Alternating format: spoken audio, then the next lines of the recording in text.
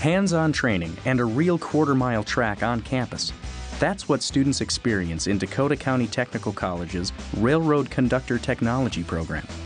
The 15-week program includes seven weeks of classwork and an eight-week off-campus internship with a railroad.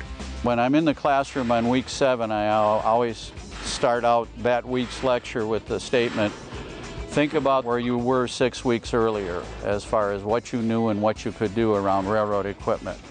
And be amazed that you could learn that much that quickly.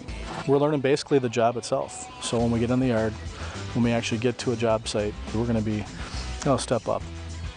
If you ask the railroad entities who have utilized our student population, they indicate that our student population would be a first choice for interview purposes. This program is definitely worth the investment.